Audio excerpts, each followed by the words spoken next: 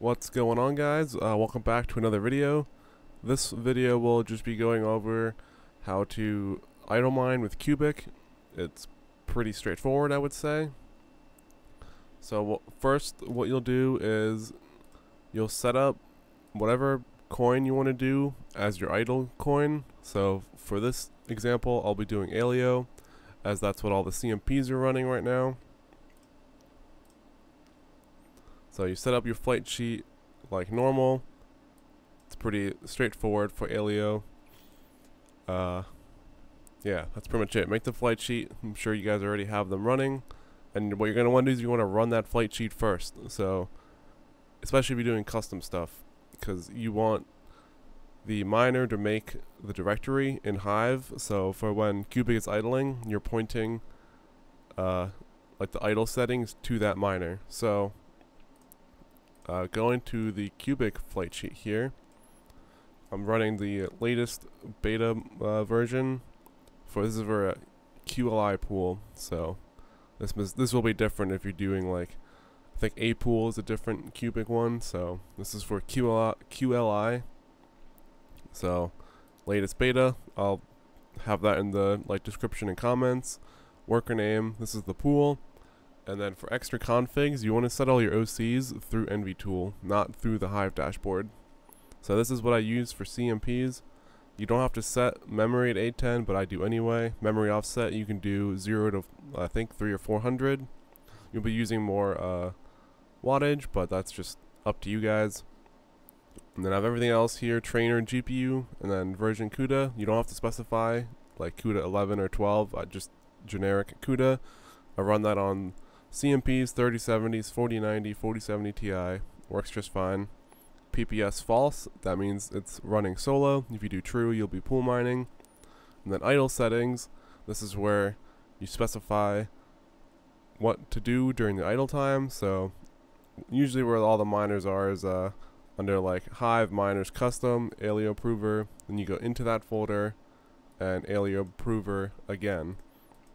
And then the arguments so this is specific to this, uh, how do I say it, like miner. So this you'll have to adjust to like your miner needs. So F2 pool area will be different.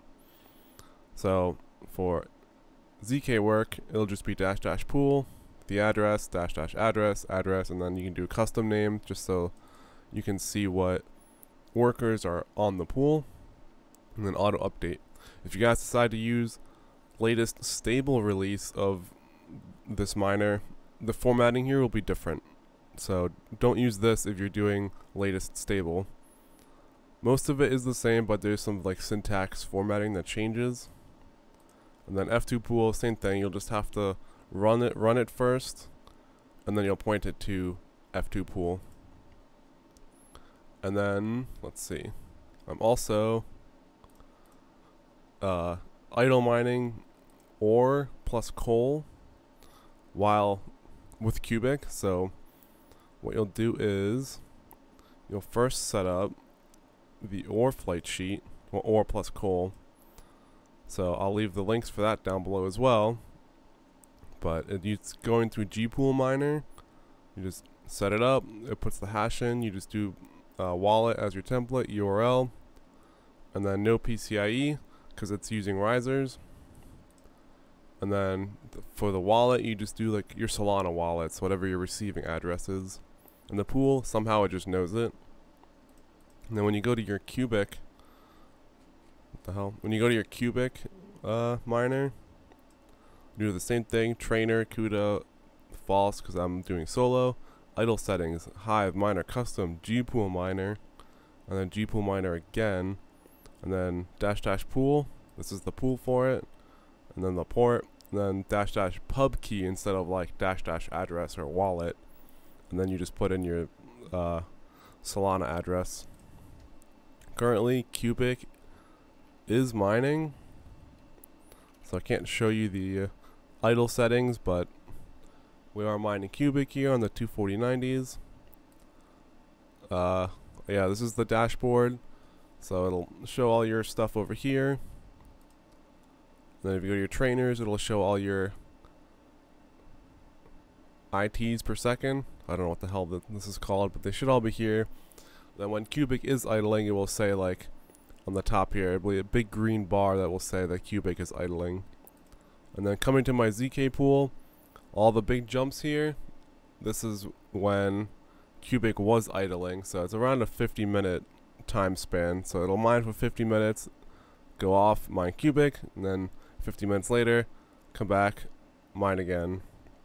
And for this, I just have my CMP rigs and the 3070 rig. And then my 40 series are all mining uh, Qubic plus ore and coal, which is the 24090s and these 240 70 Ti's here. So if you guys have any questions, just drop them below. I'll try to like help people out. Someone that I was helping with had some formatting issues. So if you're gonna set it up like this, make sure that like you have your access token and then the quotes and then enter and then do trainer and then another set of arguments. This, the person had it set up like so, all in one line, and it did not like the formatting. It kept enabling CPU, so make sure you have everything formatted correctly. I'll have it down below in like the comments. I guess I'll just pin it there. Hopefully it formats it correctly.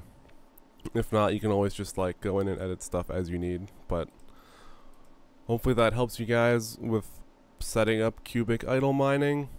Uh, I'm just spec mining mostly, so I don't I don't know any of the numbers. You guys have, will have to do that yourself.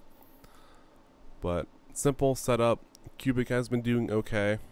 So hope you guys enjoyed the video, and I'll see you in the next one.